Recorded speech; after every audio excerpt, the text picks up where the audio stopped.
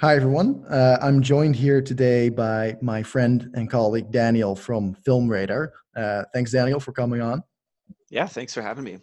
Yeah, so uh, in case you didn't know, Daniel also made uh, a video about Game of Thrones and basically criticizing uh, the third episode, The Battle of Winterfell. And so we felt this was a good opportunity now that we've both seen the latest episode, episode uh, five, to sort of discuss our thoughts on it. And we've been getting a, ton of comments on just giving our update, asking to to give our updated thoughts. So I think this is a good opportunity to sort of discuss and, and have an interesting discussion about it without it being a video essay. Uh, so enjoy.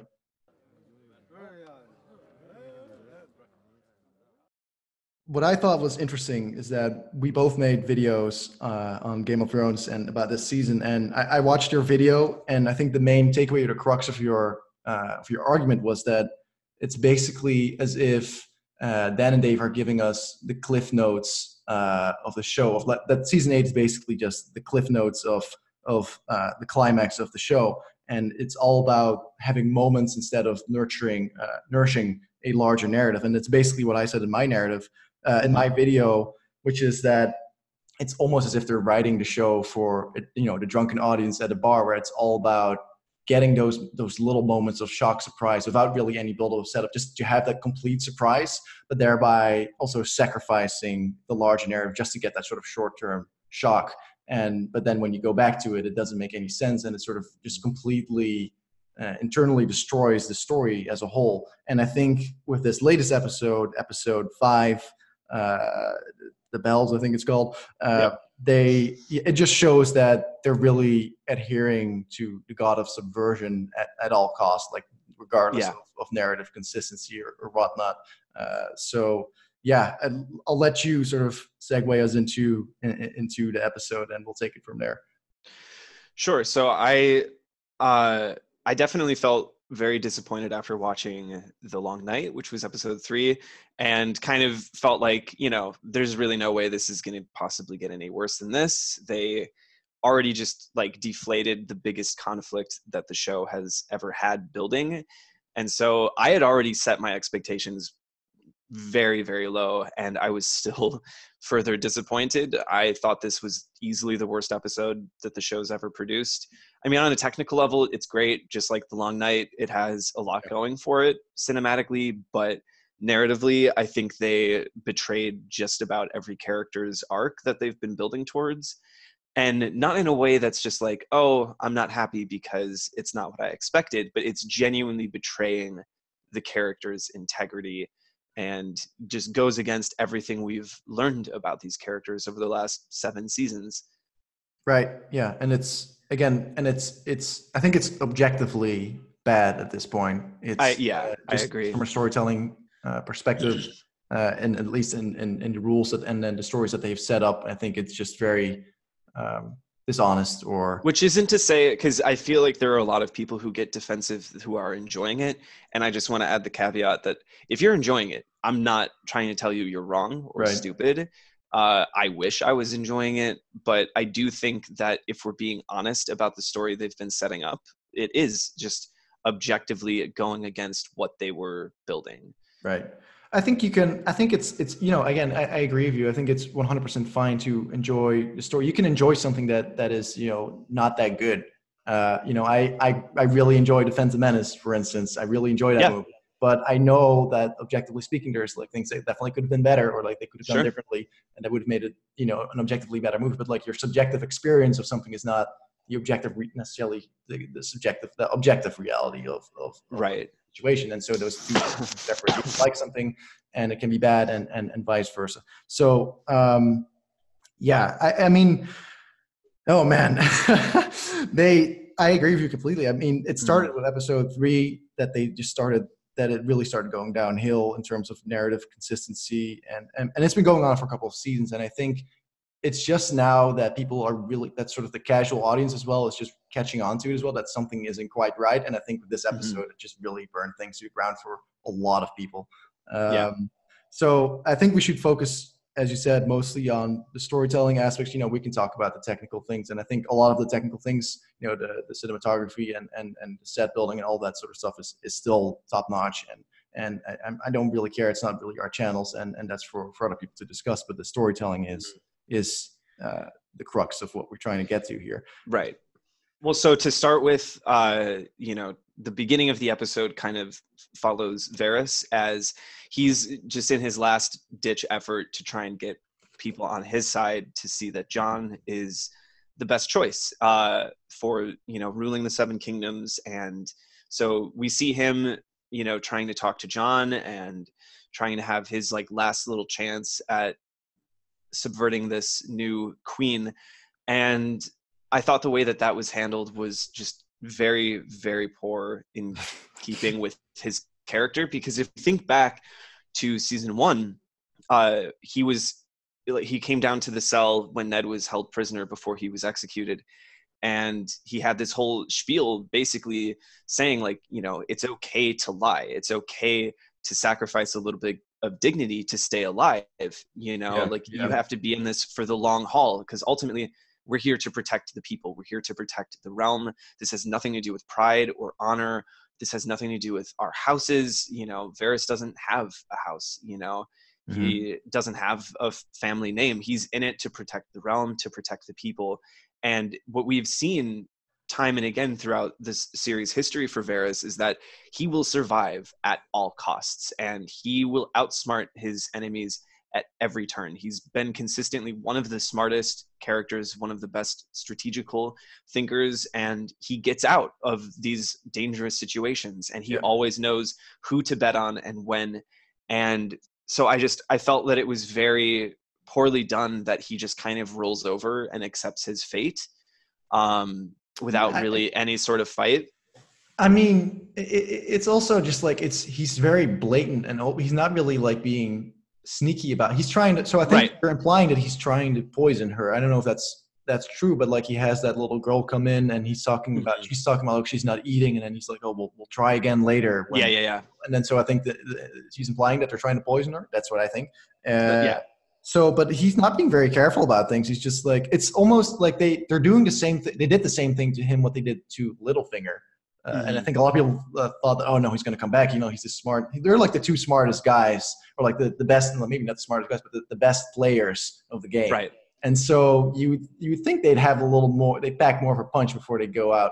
And and that's and I agree with you. And then I think we, that's how we get back to you know the main points of, of our videos that they uh, not necessarily about having a shock surprise for him because it wasn't necessarily a, shock or anything, but it definitely was. Uh, you know, it felt like a little cliff note. It was very rushed. You know, it could have been yeah would have been interesting. So I I could see it sort of going down some uh, his end being something like this in the books maybe. Totally. Uh, but but again, it's like he had one episode. Last episode, he saw Dany being unhappy at the the meal at Winterfell, and he was like, "Yo, this bitch is crazy." and yeah. so I guess I'll kill her. You know. Like, yeah. There hasn't been like, and and I've argued in my video that that that uh, my, my first video that I made that Dany is being set up as a sort of tyrannical queen. And a lot of people were like, no, you're just, you know, you're being sexist or your, your, your, your opinion is skewed and she's not that bad. I'm like, it doesn't, right. doesn't matter. I'm telling you, like, I'm not telling you logically, I'm telling you what the show is. Right. Like what, how they're setting up, especially in season seven when they were burning the mm-hmm. Mm-hmm. and then they they they they brought that even further when they brought Sam in, and Sam is like, "Oh, you burned my family" and all that. And I'm not talking. Like, we can discuss whether that was the right thing to do or not. Like it doesn't, it's irrelevant. They were setting her up to be, to become this tyrannical person, but then. Well, sure. It's certainly like if we're comparing to Jon, I mean, you know, there's never a moment where Jon takes pleasure in killing. Yeah. Uh, or when he kills unnecessarily like the closest thing you could say to that would be when he executes um uh the i'm forgetting all of their names now but uh the night's watch who yeah. betrayed him yeah you know but like we have already kind of established that that's the way this world works. Um like one of the first scenes in the show was ned beheading the deserter of the night's watch because that's just how it goes. Yeah. Um and so it, that i think is fair. Yeah yeah and the difference is that that um the difference is that, that that she seems to or like at least they show us that she seems to sort of take enjoyment out of the the, the misery and the death of of the people she kills and whereas jon as you said it's like he does it because you know that's just sort of like how the world works but he's not he's not passionate about it after he kills the people from the night's watch he he he quits being a commander he's like fuck us i'm mm-hmm. you know i don't want to he he isn't like happy about it or anything. Um, so I think that was the difference. Like you can talk about who's who's right and wrong. It doesn't matter. It's like how they're how they're setting. No, totally, totally. And if we're talking about like pure archetypes, which are being obeyed to a certain degree on the show and always have been, yeah, like it's very clear that you know it's kind of been the conversation for a while now of who would be the better leader, Jon or Dany. Yeah, basically since like season three, season four. I mean, that's been the conversation. Um, and so, I mean, it's without saying that Jon has been clearly the stronger candidate for a, a long time now. Yeah, I mean, for sure. I, it, it's it, that's what I do. I made the whole video. I'm like, this is so he's so clearly in that archetype, and yeah. and that's why I also thought that what sort of things would go down slightly differently. Oh, even though they actually now that this episode has passed, like they actually didn't really deviate too much from from from the archetype. Definitely not with Dany. They just the problem with with Dany is, and we can talk about that now. I think the biggest yeah. one of the biggest I think problems with this episode uh, is that obviously uh, the last episode, like the, the, last couple of episodes, are all just sort of meant to to to uh, make her devolve or like show that sort of devolvement into into her becoming the Mad Queen. But it's it's you know it's, there's just not enough time to do it. And so when we finally see her, uh, you know, roast people alive for like 30 minutes, it's like it feels very strange because it's like I, I thought that she was going to be a tyrannical queen, like I said in my video, but this was like it felt so this like it felt like they could have put two seasons into this to this development, and it should have yeah had that to make it seem like okay, this makes sense. Um, so I saw something on Twitter that I thought was a really apt point, which was comparing uh, to Breaking Bad, which you know for a while like everyone has just kind of considered to be one of the greatest series of all time. Don't worry, I'm not going to like spoil anything, but obviously for anyone who vaguely knows the story of Breaking Bad, it follows Walter White as he goes from being like high school chemistry teacher to drug kingpin. And uh, someone made the point though that when you go back and watch that show, you can see the seeds of him becoming less than the good guy from the very first episode. It's always there. And like they continue to funnel that through each episode, through each season, as we see him get more and more corrupt, more and more selfish, mm-hmm. ego driven, vengeance driven, all of it. Um, but the problem with Dany and this arc is we spend, you know, six seasons just really following her doing the right thing. She does take pleasure in killing people, but they're always people who uh, at least from most of our perspectives, deserve it. You know, they're slave owners, they're rapists, they're murderers. Uh, like I saw someone, you know, made like this meme thing of like, here are all of the horrible things she's done, and now like people are freaking out that she's continued to do more horrible things. But it's like from the beginning, like she took pleasure in seeing her brother die, but her brother was just using her, sold her like a brood mare for his army, beat her, tortured her, degraded her, was just an all around piece of trash to her. Mm. And so you know of course she like she her taking pleasure in that is not the same as you know just being evil right? Like the I, I thought about this earlier but it's like when we watch Django Unchained, do we think of Django as the villain just because he takes pleasure in killing slave owners? Like, obviously not. It's not the same thing. Mm-hmm. Or like watching Inglourious Basterds or something, right?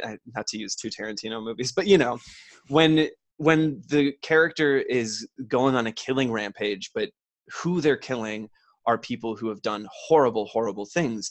We obviously know that it's not the same as the people doing those horrible things yeah. in the first place and so like when you look back like in season one she takes pleasure in seeing her brother die. She kills uh the witch who killed her husband you know? Mm-hmm. uh we or well not killed but basically like made him brain dead. Uh you know everyone she kills throughout the entire series run even though she takes like a certain sick pleasure in it they're bad people objectively bad people who have done horrible things. And we have seen like when she gives people second chances she can get spurned but like she's not just super rash and cruel and we see time and again that demonstrated. I mean she puts off her whole quest for the iron throne until things are secure in slavers bay. Yeah. she even talks about it several times like i can't leave yet because as soon as i leave you know then things will just fall back into disarray and the slave owners will take control again. And so she is more than willing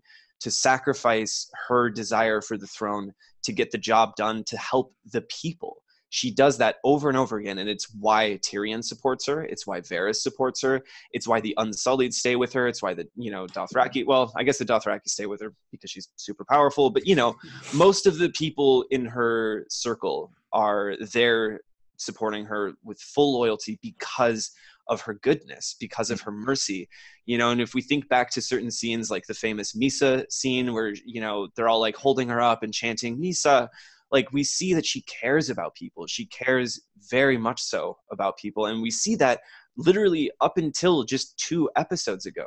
She's laying everything on the line to protect winterfell and the people of the north from the white walkers and the army of the dead. She's putting uh, like her dragons on the line even though she knows like one of them was just killed last season by the night king. Yeah. she's risking her dragons she's risking her own life she's risking the life of all of her people to do the right thing.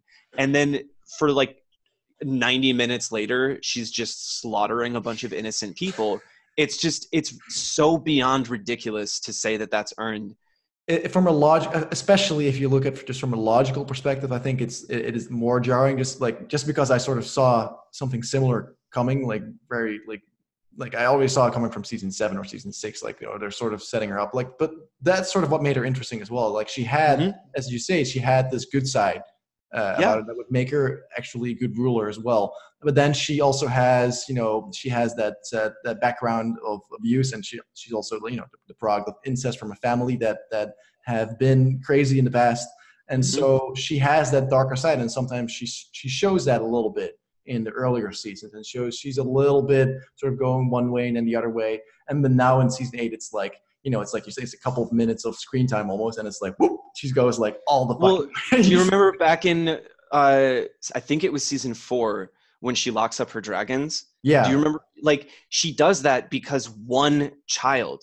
one child was right. killed yeah. when her dragon was like going out to eat and she felt so fucking terrible and so fucking guilty about it that she locked her children in a crypt for like the entire season it broke her heart to do it but she was just like i can't let these things fly around if they're going to kill children and then here she is massacring a million people like they've said several times that a million people live in king's landing and she's burning the entire city to the ground after they've surrendered. She's won. All she has to do is take out Cersei and the throne is hers. Mm-hmm. She mm-hmm. got she won. Like there's there's no loyalty that these people have to Cersei. They're terrified of her. They hate her. Yeah. You know?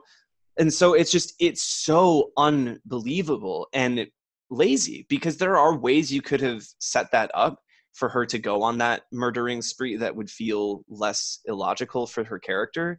Um, like all it would take is to show this the you know the people not accepting her or if like some of the people started like chucking spears at her or something like if they at all threatened her or just seemed unaccepting like she already had all this paranoia all they had to do was structure it in a way that that paranoia got ramped up but they were laying down their swords everyone was ringing the bells and just shouting for it to be over and when it was over that's when she decides to kill yeah, everybody. I, I it's like there's gonna, no reason. Yeah, no, I agree. And I, thought she was just going to go in and, and kill Cersei when she she had the same. She got angry. It's like, oh, she's going to kill Cersei now, and that's it. And then she starts killing everyone. I'm like, what? like, I yeah. know you're you're pissed off, but but I don't understand. Like this, just like there's too much of a gap there, you know. And I think the best. Okay, I have the perfect allegory for this. This is what they did to dany is like they they Anakin Skywalkered her it's mm-hmm. like, and literally the episode plays like, like, like it's almost as if Palpatine is coming up to the. like, did I ever tell you the story of Darth Plagueis the Wise? Dude, yeah, and then everyone is just starts like going crazy and kills everyone. You know, it's it's almost if the youngling younglings are coming like, oh, uh, uh, Dany, what, what are we going to do? We're all getting killed. And she's like, Dracarys. yeah, well, I will say this was actually, I think, like the highlight of the episode, and it's part of what's so disappointing is that in better hands, this would have been such a powerful moment. Yeah. Um, but like, because basically, I loved the moment when all the Northmen and the Unsullied just get bloodthirsty and start killing people. Because one, as we know from history, that's pretty much Mhm. always what happens in war, no matter what side you're on. There's no good guys or bad guys. Like the beast comes out of men once the blood starts flowing, and they will start raping and pillaging and killing innocent people. Like the violence just takes over, and there's this this fervor and you can hear people talk about it in historical texts about like people who have survived these battles and you know bared witness to this sort of thing and the the notion that like here's their leader their queen going off on this rampage it gives them permission right to It's do whatever they want. yeah it's so it And makes, so- it makes logical sense you know like that okay to see danny dugan and then to see grey worm who's the leader of the unsullied yeah. guy who starts the, the fighting on the ground. And so that that makes sense logically so i don't think that's like a stretch of the imagination that i think that's exactly what would happen. Um, Mhm. but it's just like how they they get there to build up to it Yeah. and i think that's another thing we need to talk about is the, the narrative consistency because that's Mhm. it's not just that they didn't have enough time which which was the case and it's like it, it- it's like that's their, a problem of their own making because they decided to go uh, with six uh, well, no, eight seasons, but then the, the last two, the this season and the one Mhm. before was shortened as well. Whereas HBO, I, I heard this somewhere is that they wanted to go ten seasons. So I don't know if this is true, but uh, I should look it up to fact check. Well, Uh, the the fact of the matter is, regardless of how many seasons they were like hoping to get, you know for certain that HBO would have kept it going forever. HBO is a business, and any successful business wants to keep their successful product going. I mean, sure, the, the Walking Dead's been renewed for what, like 14 seasons or something? I mean, like shows like look at Supernatural. How long has that been on? The Simpsons, like shows that have gone to shit, but because people still watch them, people still, you know, support them and they still get their ad revenue uh, you know, from running these big commercials. Uh like there's still a profit to be made. If you look at the ratings of Game of Thrones, they steadily climbed each season and they just blasted they went it went from something like six and a half to seven million average viewers throughout season six to over 10 million average viewers for every episode of season seven like right. A huge increase from season seven. And this season so far has had somewhere near 12 million average viewers per episode. So it's not an issue of hbo wanting to cancel the show. Like they would have zero reason to want to cancel it. And especially Yeah. considering they're launching i've heard five spin-off series. Um like Yeah. there's they want to make money. No it's so it, it had to be d&d the it had to be. The, that was why they ended it and i think it's because they knew they couldn't possibly fill out the final story with the same finesse that george did so instead of trying to arbitrarily stretch it and adding their own you know flavor they just decided to cap it all off and just like rush to the ending Yeah. I mean, I, I yeah, and besides that, I, I, truly think that they're just done with it. I think yeah i think so even some quote by by either Dan or Dave in season five, even back to season five, where they're like, where they, I don't, I, there's a quote. I know there's a quote where it's like that they're sort of tired, that, that it's Mhm. very that it's very demanding. And I, I mean, like I'm sure it is. I'm sure it is. But like for me, it's like then why didn't they pass just? the torch Yeah, yeah, that's what I don't know. And just be like sort of on the sideline as a producer to sort of guide so that the story doesn't feel completely different all of a sudden. Uh, well, whatever. Hell, even George backed out. He was uh, for the first four seasons, I think, maybe uh, in the fifth season as well. He wrote an episode per season, yeah, and yeah. he was kind of there, like guiding things, and had a much more active presence in the show. But Mhm. he was like, "I just can't. Like, this is taking too much time. I need to focus on the books. That's what the fans are screaming about. They'd rather me finish the books than help the show." So Right. even he left like i feel like if they were getting burned out or like the thing that i keep seeing in the comments is uh, that they're working on a star wars trilogy and so they were just trying to wrap Yeah, up game yeah, of thrones yeah. so they could get moving on to that and it's like if that's the case then don't be so selfish and possessive. Like this do- this show doesn't belong to you anymore. It belongs to the fans just like any creation. Like once you put something out there into the world it does not belong to you anymore. It belongs Right. to the readers. It belongs to the viewers. Fucking do not sabotage because okay so maybe you're fatigued maybe you're tired for now but this show is going to last forever and this is what we're going to be stuck with forever this is the final season they're not going to go back and reshoot it just because people are unhappy with it that's it it's over like Mhm. we have one episode left and there's no like come on we already know how it's going to end. Like, let's be real. Um, or at least like what they're clearly setting up and then probably throwing a big Yeah. twist in the gears Yeah. just last minute.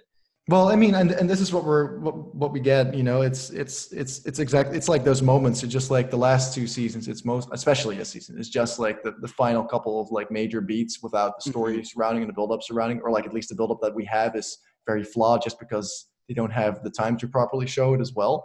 And Mhm. so it's just purely to get just trying to mask that. I think with the for for getting those moments with maximum maximum shock for like the more I guess the more casual viewers to sort of mask that this Sure. actually doesn't really is not very coherent uh, what's happening. And so you know, and, and we see it in this episode as well. Uh, to go back to to to Dany as well when when the attack starts and you see the entire Iron Fleet and they have all the Scorpions and you know from last episode I was like how Mhm. how are they going to to win at this point like I don't know if they're going to win and that's good you know you want to sort of set those stakes up but like uh, Sure. the way they set it up was like very very unbelievable like just like they had to write it that way so when she loses her dragon th- the way that happened was ridiculous in my opinion in the sense that you know they have these these laser guided uh ballistic you just shoot ray and the way just like These hit scan as well aimbot, you Like, know. okay. Yeah, Yeah. and then she char- and then she dives down. I'm like, okay, she's going to die because there's 30 ballistas aimed at her, and and she's going in a straight line. Drogon Mhm. is a bigger dragon. He's closer. She's dead. You know, that's it. And then she they miss everything. I'm like, okay, this is this doesn't make any sense at all. And I got really pissed about that. But then I'm like, they go to King's Landing then to to discuss the release of Missandei, which the whole the whole thing that they even went there was insane to me because they Yeah. I don't understand why they weren't killed, but whatever. Uh, but then she has like what, like 20 unsullied left, and now this episode, all a Oh man. like- Yeah. And I'm like, I know Jon had the other half. Fine, there's still, I know there's some unsullied left. Fair enough, but but then I the rest of it rewatched well. the long night so closely while editing my video on it. Yeah. I have like studied frames of that. And at several different parts of the episode, you can see like the remnants of the battlefield of the Battle of Winterfell. Yeah. And there's like 20 of them left. I know. You yeah. know, unless they all somehow just like found invisibility cloaks or something. Like when there's that final zoom out after the army of the dead falls, you can see there's like barely anybody left alive. And then they're Right. even showing in the next episode the big funeral pyre of like, just look at how many people died. And then all of a sudden, she's like replenished back to full force. It's Yeah. just, it's ridiculous. Like, where did they come from? That's It's yeah, and it so makes all the- inconsistent. yeah, and it makes all the deaths also just pointless. Like everything is pointless because nothing means anything. Mm-hmm. No, exactly. Like, it's just like exactly. if the writer wants to come back, it's fine, you know. Like, and that's why this whole thing felt so anticlimactic as well, because like nothing matters. So why should I? care? no. So, it's the same thing that like The Walking Dead did that people were complaining about with like Negan. Like Yeah. no matter how many times they stormed into any of his different strongholds and no matter how many of the saviors they wiped out, next episode they always had like 300 more with grenade launchers and machine guns and it's just like what the fuck? Like no. Yeah. Are these like gremlins that are just spawning in the middle of the night? Like this is so stupid. yeah, have you watched the the preview for the next episode? Yes. I- And oh, oh, yeah, sure her fo- she has more than ever. yeah, I'm like, Like, what? that final shot of her like walking down the stairs, you see like I don't even know oh how many unsullied, and it's like what? Where do they keep coming from? Yeah, This doesn't make any sense. Uh, I'm getting heated, and I'm try- I'm trying to I'm Yeah, trying to yeah. keep Let's- calm, let's but it's like uh, uh, dial down just a little bit. ugh, Yeah, so it's what I- hard. It's hard as a fan of the show. definitely is. It's uh, and yeah, I mean, like I've been a fan since the beginning as well, so it's definitely Mhm. tough. But and and and, and I mean, uh, just to finish up this point about the narrative consistency, just with the, the Mhm. rules of the world, I guess. And Yeah. so we got to see the basically how dangerous these scorpions uh, can Yeah. be. And so even if you even if you sort of forget that they really don't have much of an army, and then all of a sudden they do this episode, uh, but then you're like, okay, well, they're still the scorpions, and Dany is going at them alone, like without any Yeah. cover. And so some people have been saying, oh, it's the sun covering. So okay, fair enough. That's that's a good strategy. But still, there's hundreds of them in this city. Yeah. There's ne- we've never seen so many so many of these scorpions, these up, upgraded ones, I guess, uh, Mhm. together in one place, and like only like one or two of them actually shoot. They miss, and Yeah. them just sort of stand there and die. And and and at that point, I was like, you know, I'm like, okay, this doesn't matter. And I saw um, Lars send me send me uh, an image or, or someone saying like, what if Rhaegal just survived the last episode and he was shot down this episode, and that sort of led to Dany going crazy.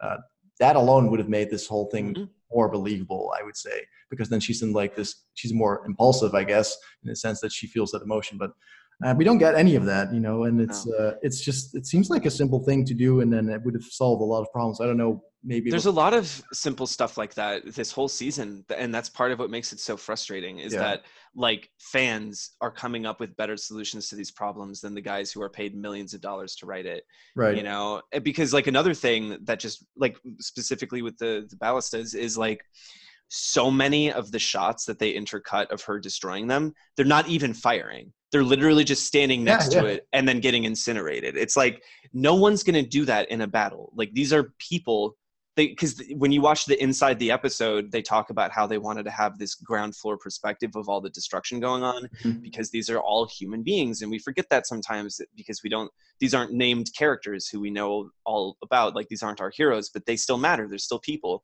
that's what Varys has been saying you know this whole season is like it's the realm they're all people and they deserve to live just as much as you and I and et cetera et cetera so like they're not going to just stand there and let a dragon incinerate them. They're going to fight to the death. And we literally there's like 10 different shots of her during her strafing run where they're not even aiming at her. They're not even trying. Yeah. They're just standing there to die. And it's just and then like the stealth dragon shit was infuriating. Like the moment when like the the golden company is just standing in front of the gates and the the dragon is like a hundred feet behind them yeah. and they're just like what's that I hear some noises in the background, and right. then the wall gets like blown to shit. It's like you would hear that. Like they keep filming stuff in a way that gives a good visual shock. But like I said in my video, they're like the equivalent of bad jump scares. Right. It's like exactly once you break down the logic of the presentation of the scene, it doesn't make any sense. Mm-hmm. Because here we have the setup uh, which is like the full Dunkirk moment of the dragon flying in, and we hear the sound of you know like a plane flying at them. But and when it's, I mean, what like a thousand feet away, but we can't hear it when it's literally right behind them, blowing out the wall until the moment the wall gets blown out. It's just like there's no consistency with the logic of how any of the information is presented. No, yeah, that's yeah, that's exactly right. And then not to, not even to mention that the Golden Company, you know, didn't really do anything at all. They just they died. Twenty thousand men apparently. And, and see, I'm not even I'm not even bothered by that because I mean that's the whole thing. The dragons can I know I know incinerate everything in sight. I, yeah, it's just but, the whole the whole thing all together. That's just like yeah. I think if they could have told that well, and that that sort of would have like I would have been fine with that if everything else had been told in a consistent manner. Then I'd be like, okay, mm-hmm. Uh, because I know. Well, like we established that Euron and his fleet can see the dragons from behind a cliff, but yeah. apparently this whole army is just completely oblivious yeah, to the fact that there's a dragon incinerating the city right behind them. Right. Because they're all just standing there, like waiting for the battle, like you know, just twiddling their thumbs, and then it's like, oh no, there's a dragon. Like, yeah, you right. knew that. You knew that. I and we had a bunch of they had a bunch of archers lined up on the walls. Mm-hmm. Well, there's a shot of them like going up on the wall, and I don't see and I don't think I don't think I saw any of them even present in the shots or like firing at all. Like you would think that that no. would at least be a danger to to uh, Dany. But I guess I know the whole episode is about her and her descent into to madness and and basically uh, burning down a defeated uh, enemy. That's the whole point. I get it. I get it. But it needs you know it's not they need to make it at least a little bit believable in, in the way they present it. But I, I, guess we this can we sort of wrap this up so we can go on to talk about uh, Jaime and I guess Jon for a little bit and Arya, I guess. Well, Arya. and Cersei for that matter. Oh, uh, well, because one of the biggest things that I've had a, an issue with since like really, really thinking about this episode is we have seen countless times that Cersei always has a backup plan. She's always got something figured out and like she literally just stands and watches the city fall with no strategy whatsoever. Well, her her plan know? was her plan was to that that they would stick to consistent writing, and and she was I was like, ah, she's probably pretty good, at least better than than it ended up be, at least a little bit better, you know. So she, I guess she was as surprised as as we were that she. Yeah. they just made her so helpless at the end when she has bested a lot of other foes. And frankly, she's way better at playing the game than Dany ever was yeah, yeah, yeah. or it was ever going to be. Like she's been in the thick of it since the very beginning. Like orchestrating a lot of the most gnarly shit that's gone down on the show and like you know for her to just be so unprepared for what's happening just doesn't feel right at all for the character No, and it's it's all done. The way the reason why it is is because it's all done in service of that sort of sub. Well, I guess if you I'd call it subversion of Dany having becoming sort of the Mad Queen. It's all in service of that because it's all her episode. It's not, and so her arc, Cersei's arc, sort of uh, has to suffer under that, uh, along with all basically all the other arcs as well. Um, and so that, that's I guess that's how we get to to Jaime as well because I think Mhm. most people, including myself, and I don't know if I speak for you as well, is that when Jaime left Brienne last episode and he said that he that he's hateful and Cersei's hateful and he's going back to her and, and he's telling her all the terrible things that he's done, I thought that he was going to go back to King's Landing to kill Cersei, and that that whole thing was just a ploy to to make Brienne sort of accept him leaving her because he he's Mm. trying to present present himself as a douche. I didn't think he would do Uh, a, a 180 on his Oh no, I fully based on everything else that had happened in the Battle of Winterfell, as soon as that happened, I knew what they were doing and really. I would I didn't even like necessarily consider the implications until this episode and it really really bothered me. I, Because yeah, I mean, it completely undid his entire character arc. It did. And for the second, well, I mean, like they made him sort of, he was bad in the beginning, and then he sort of became good when he was with Brienne, and then he was bad again. And then last season, it seemed like they were finally done with that because Cersei uh, actually is trying to kill him. and he's finally seeing how crazy she's become. And now, in like the blink of a, sec- of a second, he's like, no, actually, I'm going to go back. Uh, and, and, well, and- right. and and just I mean, it was I thought it was a complete um, disservice to his character, and it makes his entire arc completely pointless. Well, because literally what happens is, you know, like he's in love with Cersei and he does a lot of horrible shit to protect her and to protect their love. You know, he pushes Bran out the window, like he kills people, he does whatever he has to do Yeah. to get back to Cersei. But there's always underpinning that an honorable man. And we know that because his like nickname, his namesake, Kingslayer, really cuts at him because his whole thing is like, fuck you guys. He was the mad king. Like, yeah, I'm the king's guard who killed his own king, but he was gonna burn the city to the ground. Like, Mhm. what what should I do? Keep my oath or let every fucking person die, including the people who are now talking shit about him to his face and behind his back. Like, I could have let you die, you assholes, you Mhm. know? Mhm. And like there's that scene in season three when he's in the bath with Brienne and he's telling her this. Um, because she's like giving him shit about like having no honor and whatever. And he's like, no, like this is why I killed him. He wanted me to kill my dad and bring him um, his fucking severed head, and he wanted me to like sit by as he lit all of the stores of wildfire under the city and killed everyone in this city. And what would you do? And he's like getting really emotional recounting this story. Like, what would you do if your king asked you to do the same thing? Would you just stand by and let thousands of innocent people die? No, like you would do something about it. That was the honorable thing to do in that moment, you know. And so we see this subversion of the, what we thought Jaime was from like early season one, and as we go throughout seasons two, three, four, we see that he's a much better person than that. Yes, he still loves Cersei, but like that starts to change uh, because in like season six, after she destroys the Sept of Baelor and just takes the throne, like you can see that fear when he's watching her coronation. He's like, who is this woman? You know, like this is not okay. And then the final straw for him is when she's playing a political game with the apocalypse. He's like trying to convince her to go north to join the fight. And he thinks originally that that's what she's going to do. But then, you know, she confesses, like, oh, actually, I'm just going to let this play out and then pick up the scraps, you know, so we can save ourselves. And he, that's his final straw. And he leaves her he leaves her in her time of need when it's just the two of them against the world basically. They have like every army against them and whatever and he's like no like we're done. I mean i can't stand by you anymore. And so for him after the battle after seeing like like she's just been sitting cozy in the castle letting everyone die and they almost lost that battle. And it would have been like the end of the world as they knew it. If they lost the dragons if they lost all of those like big armies they would have been fucked. Westeros would have been completely overrun and he knows this. So for him, after that, to go and nah, no, I'm gonna go back to Cersei. It's like what? What? and then for him to have that line of like i never much cared for the people innocent or otherwise like bullshit Yeah, yeah. bullshit you showed us in the show like it's just going against what they've already established as canon and that's why it's frustrating it's not just like oh you didn't like what happened it's no like you're lying to us you changed what the history of this show is you just changed these characters at the last minute to get them where you wanted to so they could have their beautiful poetic ending dying in each other's arms and it's like it just doesn't make any sense It's not. They had the moment. They just they just didn't know or didn't care for how to get there. It's just like Mhm. okay, they need to die in each other's arms. Um, even though it does at this point it wouldn't make any sense narratively without breaking the narrative or at least his arc Right.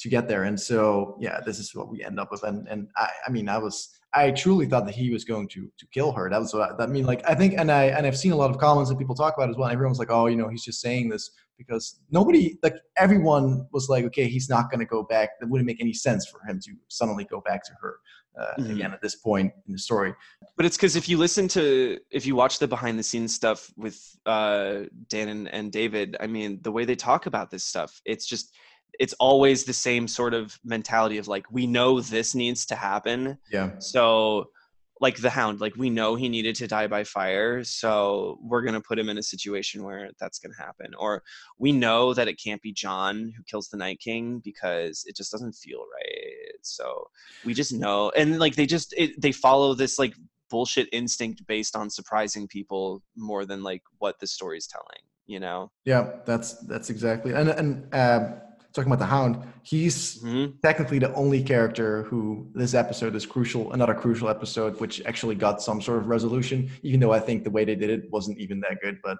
uh, No. whatever at, he, at least he was the only character who did get his uh, his re- resolution to his story but even with him i felt like at this point what happened to his character and then the, the ultimate fight were both kind of lackluster i didn't really I, ne- I never felt like he was always looking for that revenge at this point no I- i know past that a little bit.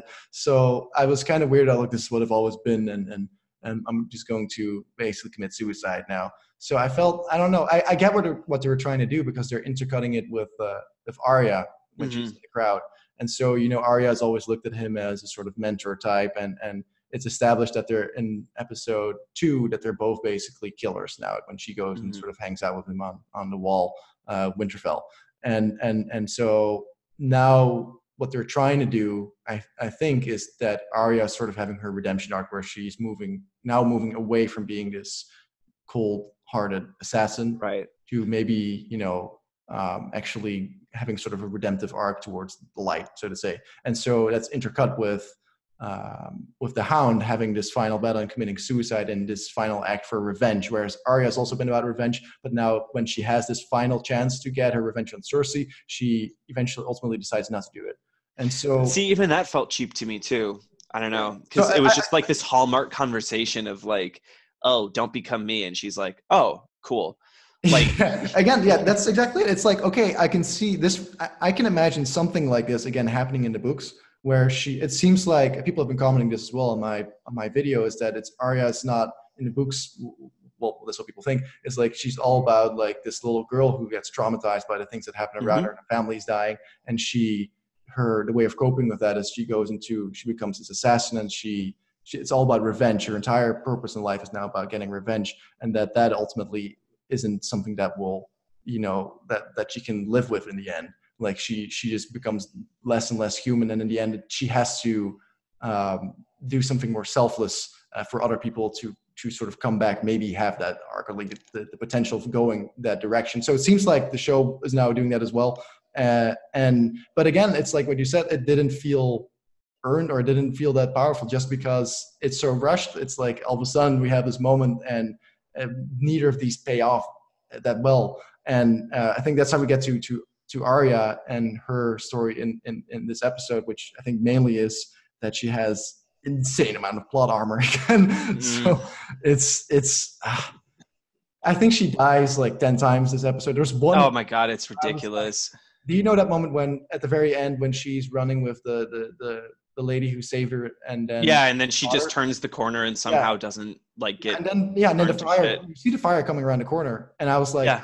I, I told my girlfriend, oh, she's dead, but I knew okay, she's definitely not dead, but she, she is dead. She should be dead.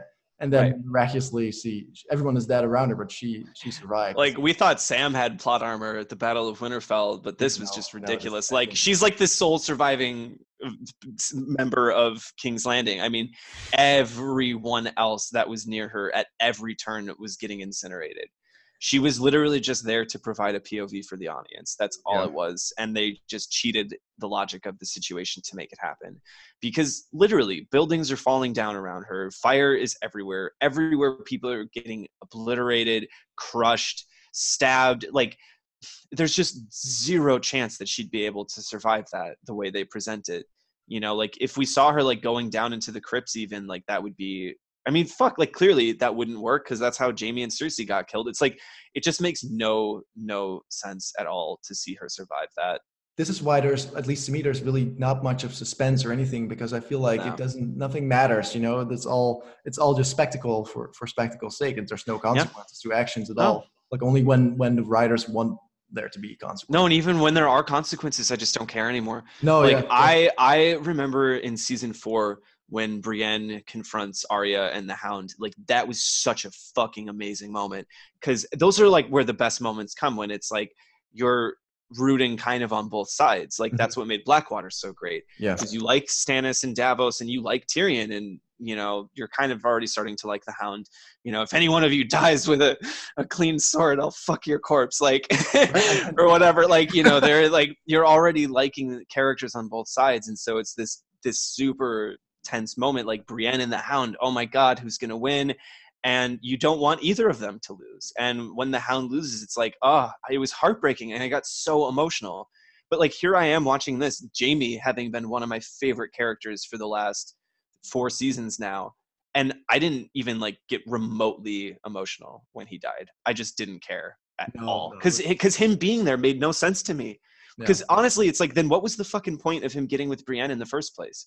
Just to subvert people again. Like that's and to make Brienne seem like a weak bitch. Like you know what I mean?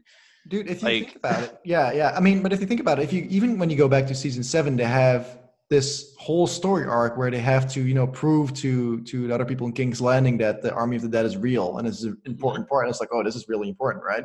And so the only and they have to go beyond the wall and a bunch of people get killed, and then they Mhm. finally have this convoluted plan. And and the only thing that this really leads up to is that the only thing that happens because of that is that Jaime goes north to Mhm. have sex with Brienne and then he goes back. That's the only consequence that that whole thing had. Like nothing else Mhm. happened because of that. so like, uh, it's just again, this is like all these things that are happening this season that that don't make sense now also make the the things that happened before uh, not matter. You know, they don't matter anymore. They've been mishandling every character, and I think it's now time to talk about Jon because Yeah. I think one of so part of the reason I was just kind of like resigned to hate this episode pretty early on in it because keep keep in mind I love this show. Like this was my favorite show forever and ever and ever. I wanted to love this season. I was so hyped all these two years waiting because I didn't even hate season seven. Like when everyone else was backing on it I was like no like it's still it's building though. It's gonna be good. Trust me. And uh one of the things that happened early on was with the whole Varys thing. Like, I believe Daenerys would do that in that moment. I don't agree with it, but I get where she's coming from, from her character's perspective. I don't think her killing basically a traitor, you know, is really all that out of character for her. What felt really out of character for me was like Tyrion and Jon just being totally fine with it. Like, oh, he just knows this secret uh he's not like trying to hurt her. He's not you know necessarily like that as far as they know it's just well he's trying to put the truth out there and they're just totally fine with him getting incinerated. And well- when we see her like so so stupidly rushed like all of her soldiers were just like half of her army was just taken out. They're all battle weary and she's like nope we're marching. We're going to war right now. And jon's like yeah sure. Like he's he's never been I mean, if we go back and we look at his relationship with Ygritte, he betrayed her to do the right thing, you know, and it broke his heart to do it. But it's like, I can't, like, you're, I have to protect the people. I have to protect the Night's Watch. And, like, you know, if that means we can't be together, then so be it. And, like, it's heartbreaking the way that ends up playing out. But here he is standing by Dany no matter what. Why? That's not Jon. Like he's the most honorable character on the show since Ned, and here he is just like, no, she's my queen. I, I, I love her. Oh, she, eh, like I honestly don't even know how the fuck they're gonna handle this next episode. Like, is know, he yeah. is he gonna defend her? If so, I'm gonna just like delete HBO from my life forever because like. What, but I'm fully, I'm honestly fully expecting there to be a moment next episode where Arya is obviously going to kill or try to kill Dany. I don't think she's going to because we'd expect that since she killed the Night King. So they're going to have to subvert expectations by killing her or something. But I fully anticipate there being a moment where like Jon stands in the way, like, oh no, she'll still be a good queen. Like, like how he's able to defend her actions is just so unbelievable. Yeah, and we're not even talking about the fact that he's become uh, basically throughout the season, except for maybe the first episode, he's become a completely passive character. Yes. Uh, he because of this exact reason, he's like he's only been saying like, "Oh no, it's my queen." Like that line has basically been said like in variations of it for like the last two episodes, I think. And Mhm. and he isn't doing anything else. He doesn't even he didn't even have many lines this episode either. Uh, No. But I don't know. I, I'm hoping they'll do something with him in the, in the finale. I'm sure they will. But uh, he's been very lackluster in, in, in this season, especially. Uh, and it's very sad to see because, and that's what I said in my video. Like, I think they really took away his big moment was with the Night King, and they didn't give Mhm. it to him enough, at least to me, uh, Sure. for it to be satisfying. And so now it's like they took away that momentum, they took away that climax, and now it's like, yeah, what is Jon supposed to do? You know, he's like, that's like the, the last thing to sort of sort out is then with Daenerys, but it seems like it will be Arya. Well, we don't know if this will be Arya. You, you, you're right. Like they might subvert that again. Um, so I guess we'll have to see how that plays in, and then we can we can bring our conclusions to to that as well. For me, it's this is all again a show of like how they're so focused on getting these these last couple of moments, and they don't really care how to get there. It's all about like these, these the subverting of expectations, and just to get those short shock moments and a larger narrative. Mhm. You know, doesn't matter. It doesn't matter at all. And it's like to me, it's like I really don't care if we end up with something that that is sort of expect like all the other subversions that happened before were had build up to it and had foreshadowing to it. And and even though i didn't even see some of them coming if you if you watch them again you're like oh okay that makes sense that this actually happened or they had logical consequences or like the, the things that happened had logical consequences uh, for them happening. And so Mhm. everything sort of makes narrative sense.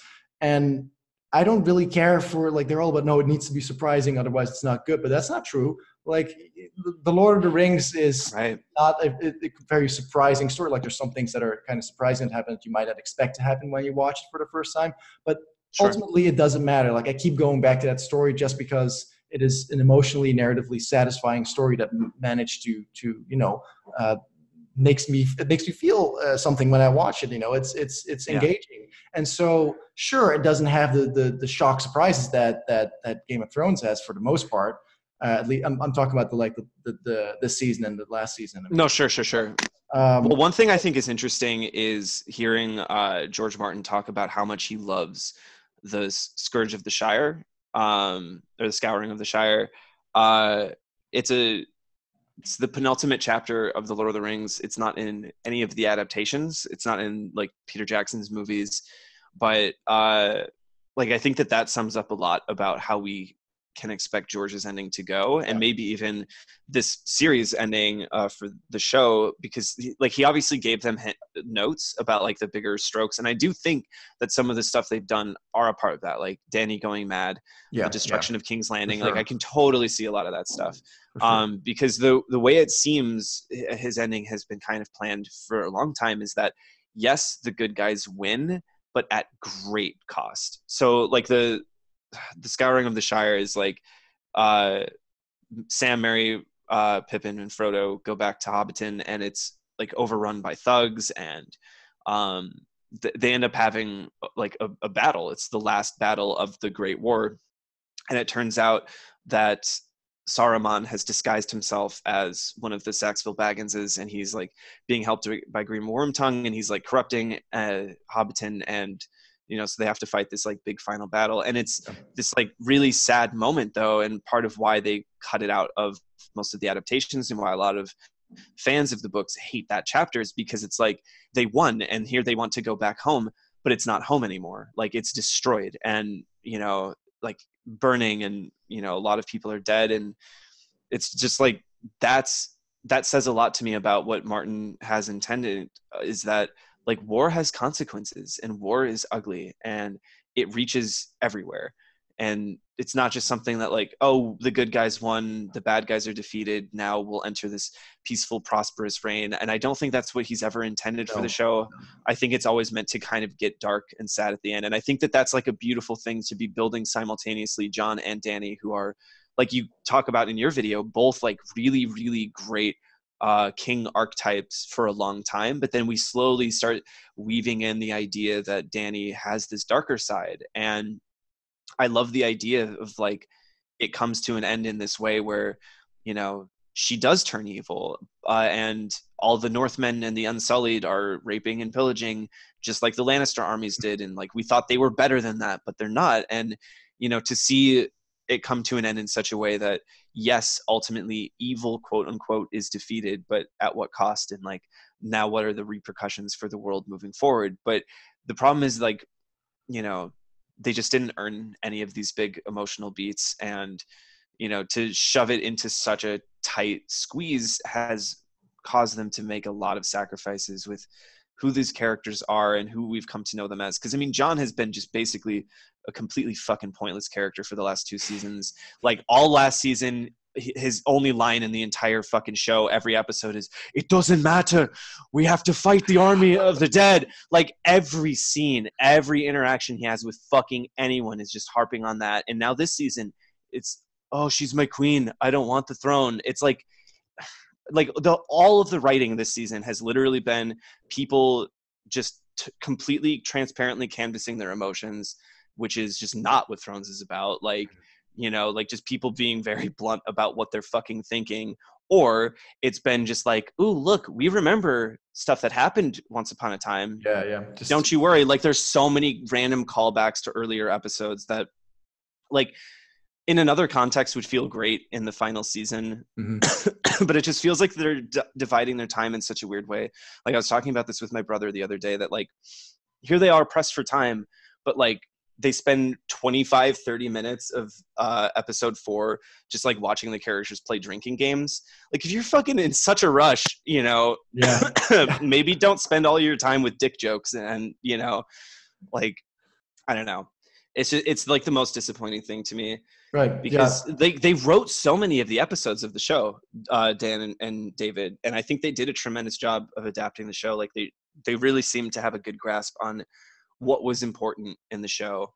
Um, and having read like most of the books uh, like they really kept faithfully to it for the most part. There were small changes here and there um, some like kind of big changes but nothing that feels like it's totally abandoning the major themes of the show mm-hmm. or the character arcs but then they just undid everything in this last season like yeah. literally everything so and this is and I, I, fear that after this last episode so i won't judge until we've seen all of it i guess but um i fear that that this whole season will be the how i met your mother of of, of, of game of thrones really that mm-hmm. that final moments will make the rest of even though you know the first four seasons are excellent yeah, sure they'll still be excellent in the sense in the, in the presentation and the acting and all of that but the narrative as a whole will be diminished to such an extent that i don't think that that a lot of people who are not liking it right now will be able to rewatch it and and find I much agree. value there because you know the character a lot of these character arcs were these sort of characters who are still alive now and who are in those earlier seasons as well it, they're pretty pointless. You know, they don't mean anything anymore. Most mm-hmm. of them, and maybe some of them will with this wrap up. I don't know, but I doubt it. Um, so I, I think I mean we've been going for, for for quite some time. I think that's sort of the note that the the, the pressing note that we have to end this on.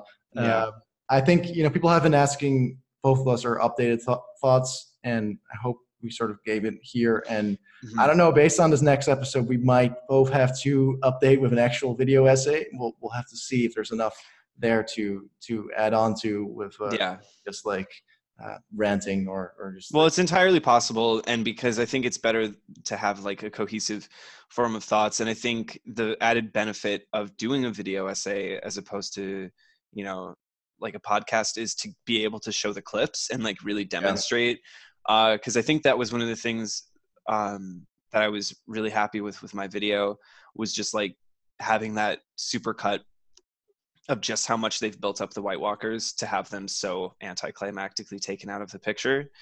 So I, it's something I'm considering. I have been getting requests from people to to cover this episode. I've even already been checking the comments, and it's like, "Oh, you thought this episode was bad? Wait till you watch episode five. Yeah, and so we'll see. I've I feel like I have already been so like heartbroken by this season, and people want to say, "Well, then like don't watch it." It's like, I mean, come on. been with it for eight years. I'm going to follow it through, even if I'm hating every minute of it. But mm-hmm we'll see. Uh, I have a lot of harsh opinions about this episode, and uh, based on how they've set up the next episode, I can't imagine that that's going to make me feel any better about the season as a whole. Um, but yeah, I mean, what else can you say? what else can you say? Yeah. Well, hey, the good the good thing is that I finally I finally ordered the first book, so I'm yes. you know what you can say what you want. Dan and Dave did push me to to actually you know start reading the real thing. George will do if he ever finished it. yeah. It. Well, like I, I say in my video, I actually do think this will give him some motivation. Yeah. Because it's, and it's because it's interesting. Like I feel like no one's really mad about the grand narrative structure that's happening this season. Everyone's yeah. just mad about the execution of it. Right. That's like I haven't seen anyone like pissed that Dany turned to the bad guy. It's like we all kind of thought that was a possibility.